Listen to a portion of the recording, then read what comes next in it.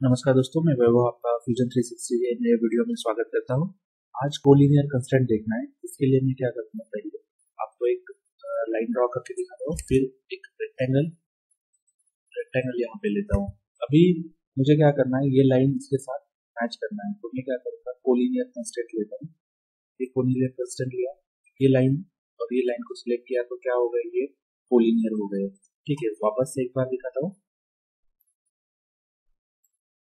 Collinear constant को select अभी मैं क्या कर लेता हूँ, पहले रेक्टेंगल के लाइन को सिलेक्ट कर लेता हूँ, फिर ये लाइन को सिलेक्ट कर लेता हूँ। आप देख सकते हो यहाँ पे ये दोनों लाइन्स क्या हो गए कोलिनियर हो गए।